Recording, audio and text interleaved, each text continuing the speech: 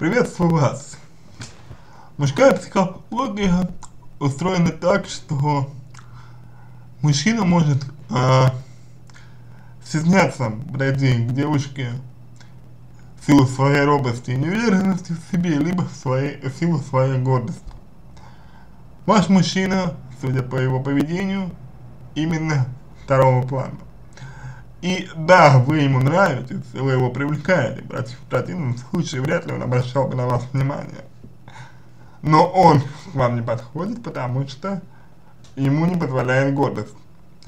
Ведь если он даст э, вам понять, что хочет с вами, допустим, познакомиться, то это означает, что он поставит себя ниже вас покажет потребность в вас, а, желание, а это, по его мнению, сделает его слабым.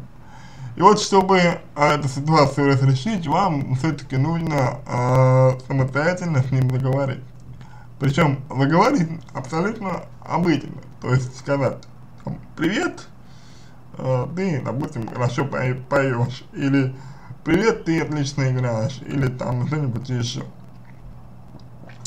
И тогда по его общению вы поймете, что ему от вас нужно. Может быть, просто привлекает его внешне, и ничего серьезного он к вам не испытывает. Может быть, у него к вам глубок, глубокая симпатия, и он а, давно хочет с вами познакомиться, но все никак не, реша, не решается. Тут необходимо дать мужчине некий старт, некий трамплин для того, чтобы он все-таки а, получил от вас подтверждение того, что вы а, можете ответить ему взаимностью, чтобы он взял ситуацию в свои руки. Бывают такие мужчины, которым вот нужен такой толчок в спину. В противном случае они а, не начинают ничего делать. Соответственно, спросите а, себя для начала. Вот вы испытываете к нему симпатию? Если да, то тогда улучшите момент и заговорите с ним. Вы ведь ничего от этого не потеряете, наоборот, э, появится новый знакомый, с которым можно будет поговорить. Но внимательно смотрите за его поведением.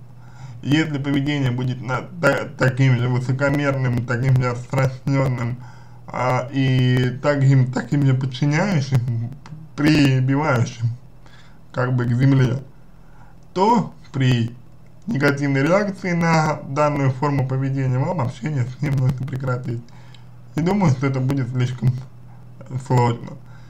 Если вам общение с ним понравится и у вас возникнет взаимная симпатия, то кто знает, может быть все будет у вас хорошо и все получится. Но до тех пор, пока вы не попробуете самостоятельно э, с ним заговорить, ибо он точно, точно не, не заговорит с вами первый, вы так и будете теряться в, в догадках.